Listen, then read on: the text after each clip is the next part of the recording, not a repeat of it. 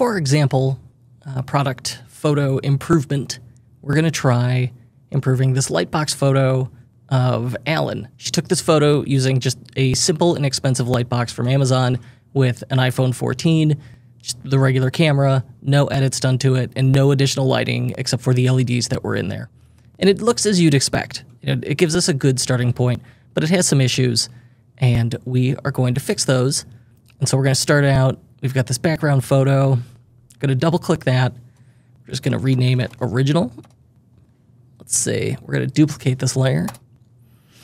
And I notice this this photo is four thirds, and it like really it comes really too close up at the top to the box. I don't like that. So we're gonna try and fix that first. We need a good starting point. We're gonna say image canvas size, height's 4,000. Just bump that up to 40, 4,500. I like to always make my product photos square, make my life easy. So we're gonna do that. Now that I've done that, I create an issue. I've got all this extra space back here. So I'm going to hit uh, my magic wand tool, hit select, and then we're going to do, well, there's a few ways we could do this. We're going to click edit, fill, content aware. Let's see how this goes. And ideally, it, okay, good, really good but not perfect. So we're just gonna go up there and fix. We're gonna select that guy. We're gonna do content aware again. There we go. Done. We've got that fixed. And this was like a little weirdness over here. This is like the blend line it created. And so we'll just select that and have it try again. Shift delete is the keyboard shortcut I'm using here to bring up fill. There we go. That looks much better. Okay, so now we're in a better starting point. I'm going to grab the spot healing brush because there's like a, that's a hair, like a little piece of dust. There's a hair in there. Big old spot up here. I don't like that. We'll get rid of those. All right, already things are looking better, cleaner. Got more room to work here. Now, I've given us a big canvas to work with. We're going to use filter, camera raw filter. I love this tool. Go down to geometry and hit auto. Look at that. Isn't that cool? So she had the camera like a little at the right height, but slightly angled. So you can see it. You by looking at the box, it's able to figure out the geometry and fix it ever so slightly. I love that. And then at the top, there's this auto button. We're gonna hit that too. Ooh, Okay. Maybe a little much. I don't love it. So we're going to undo that and stick with our auto geometry. Under optics, sometimes it'll let you, um, it'll know the camera and lens you used and it'll fix it, but I don't see that as an option here. We're going to hit OK. And so here we could say, all right, fixes a little bit of that, but just gives a nice straight line on that box. I like that. What should we do to our friend Ken? I'm sorry, our friend Alan next. He's Ken's buddy. All his clothes fit him, or all Ken's clothes fit him. All right. I need to clean up this background. And to do that, we need to get Ken off this background. So let's do layer duplicate again. And now let's try, at the bottom it gives us a tool for select subject or remove background. Let's just try it. It doesn't always work, but when it does, it's cool. And so it didn't quite work because it misunderstood what it was looking at in a fairly amusing way. So I'm just gonna delete the layer mask it creates. Corrected. Just name those. So now we need a better way to get rid of the background. And so select, uh, remove background didn't work. Maybe select subject will. No, it didn't give me the same thing. Hit deselect. So we need a better way to do it if that doesn't work. Up here on our, our magic wand tool, if you change it to object selection tool, this is super cool. And hover over something, I could click it, So now I've selected that guy, but what about the rest? If you hold down shift, you see the plus sign that goes on the cursor? Now I can add, I can add that in there. Shift, I can add the box. And then I can add the book. There, that worked really well. Worked very nicely. And if I want to modify it, you could do select, modify, smooth. If it's like jagged, you could smooth it out. That'll happen on low res images. Expand, I can make it a little bigger. Uh, contract, I can make it smaller. And then feather, you could soften the edge on it. But I'm going to do expand one pixel. And now in the bottom, I'm going to hit uh, the layer mask button. And then if I turn off my other layers, look at that. That is just perfect. And then comparing them like this, I could see something weird happens. Watch this. You can see like part of the stand disappears and it adds a little highlight around his feet. So I could fix that. The way I'm going to do it is select this, the layer mask. I'm just going to go and paint the mask. So if I select my layer mask, I switch to the brush tool. Let's see, how big is that? Perfectly fine size for this. We're going to make sure it's set to white. White will paint, will make the mask transparent. Black will make it opaque. So we're just going to fix his feet there. See that? Fixing it right up. Just got to be real careful to get this one. Let's move real slow. There we go. Looks good. That's fine. Let's just compare again. Cool, cool, cool. Let's back out of it. So I've got my background on there. Now, what does this look like if I just do put him on a solid white background? I could do color overlay on the layer that's behind him. Just 100% white. So there we could see if we just do all white what he looks like. I don't love it because it makes it look like he's floating a little bit. And so maybe we turn it down some. So we just like brighten that background. Then we get some of our shadows are still in there. I like that. But I still want this background to be more white. And so I'm going to use my gradient tool. And my gradient tool, if you click basics, let's just reset my colors. That's what that black white button does. I want white first. Gradient tool, I'm going to go basics. Just select white to transparent. You could change the way the gradient works. I want the first one, just regular gradient. And then I'm going to click and drag with my gradient tool. It shows me where the halfway point is. I want the halfway point to be about where I think that border is. There we go. And there you can see what that does.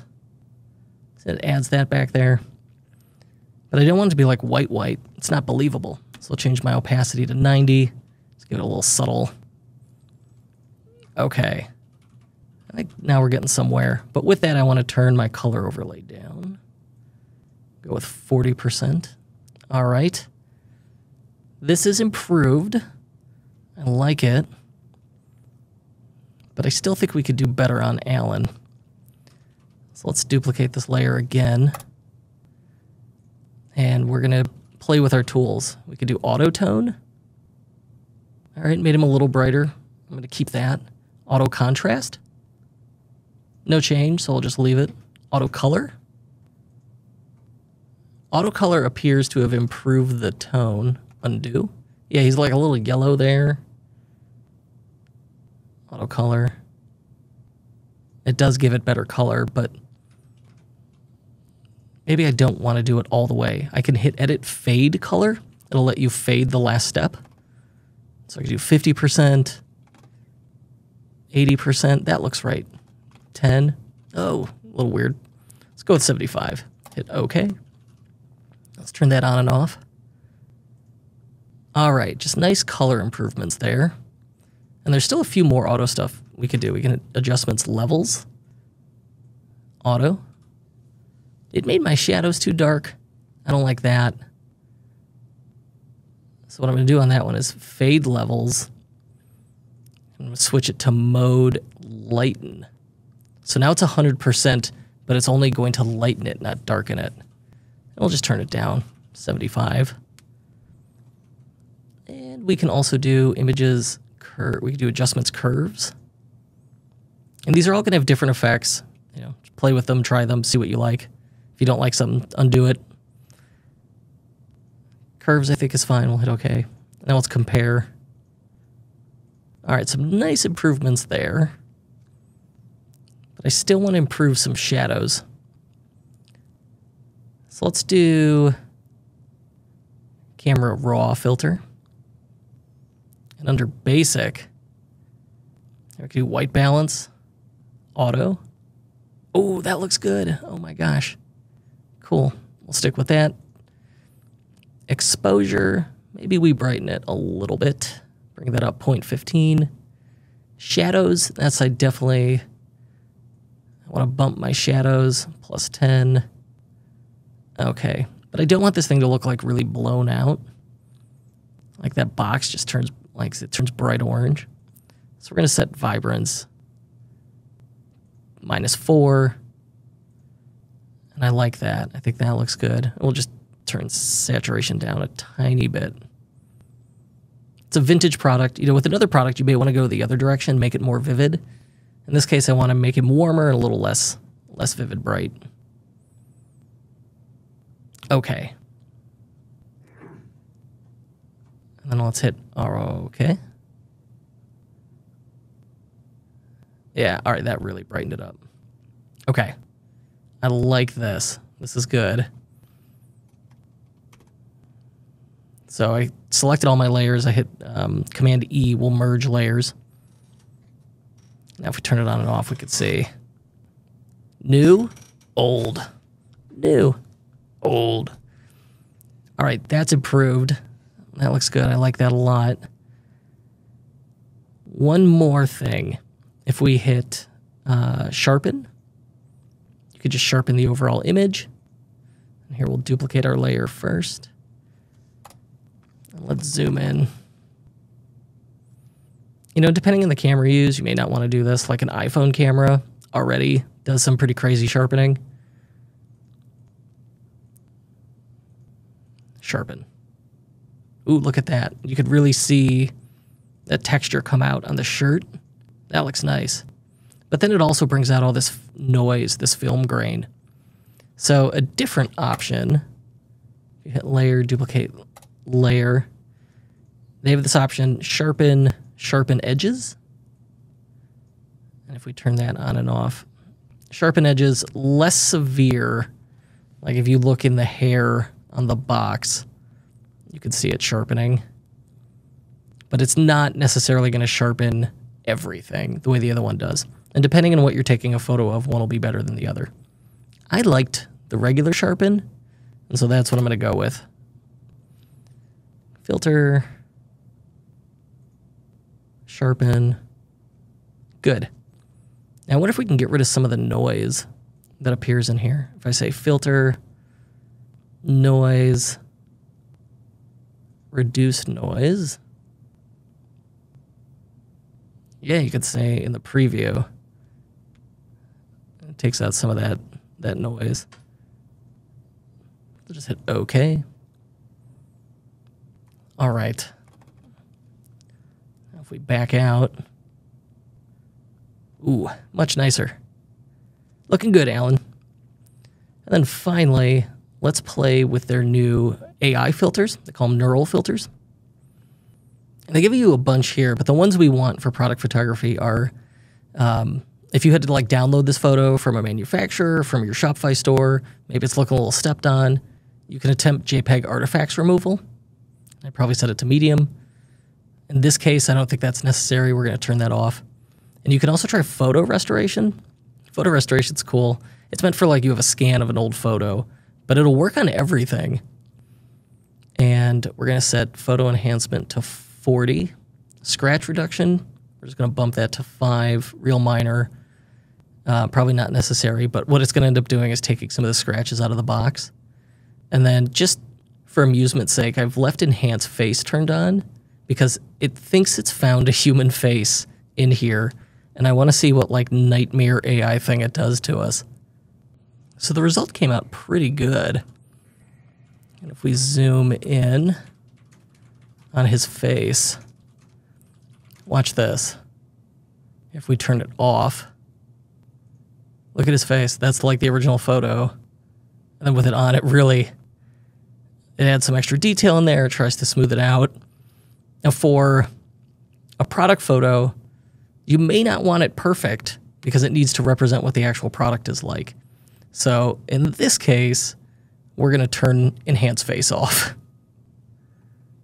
And then when it's done processing, we'll apply that. And here we'll compare. Very nice.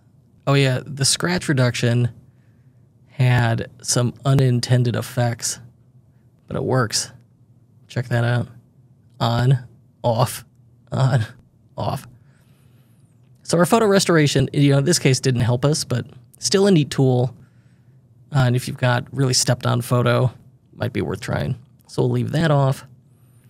And it, sometimes less is more. You can really keep over optimizing so we're probably going to stop here.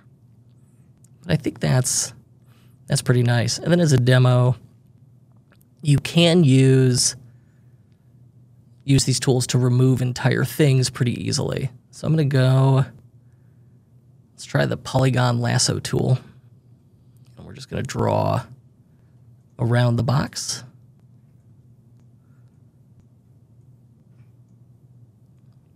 And then we're going to say generative fill. And generate. And this is just a different way to remove objects. This one uses AI. So we'll see what it does.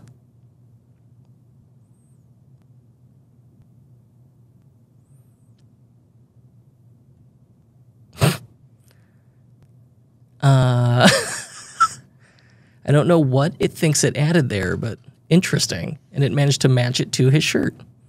So we're going to hit edit undo on that. Instead, we'll do shift delete, content aware. Whoops. Content aware, go. And there you go. It's gone. So if I want it to just be like that, it did it perfectly. Worked very nicely. Now that I've got that cleared out, we could use generative AI to try and add something in here. Like